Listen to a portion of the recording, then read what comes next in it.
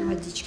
Это сейчас трехлетний Марсель улыбается и без страха идет на перевязку. Чувствует себя супергероем и, похоже, рад освобождению от детсада. Но родители вспоминают случившееся с ужасом. На празднование дня рождения дочки знакомых в кафе, где мальчик был среди гостей, на него упала люстра.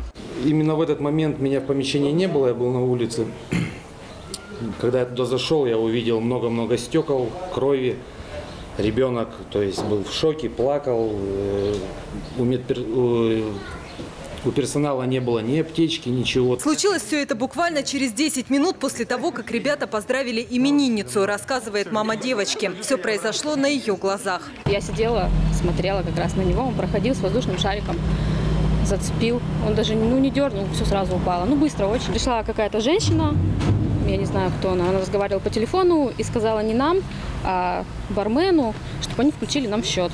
Если мы откажемся платить, чтобы вызвали охрану. Но муж мой сказал, мы ничего платить не будем, это на вас нужно писать заявление. Первую медицинскую помощь на месте Марселю оказать никто не смог. Вызвали скорую, которая увезла малыша в травпункт. Там раны на голове обработали и наложили швы. Был осмотрен, оказана необходимая помощь, и ребенок отправлен на амбулаторное долечивание. А Его состояние позволяет вполне находиться дома, ходить на перевязки в поликлинику и быть под постоянным наблюдением врача.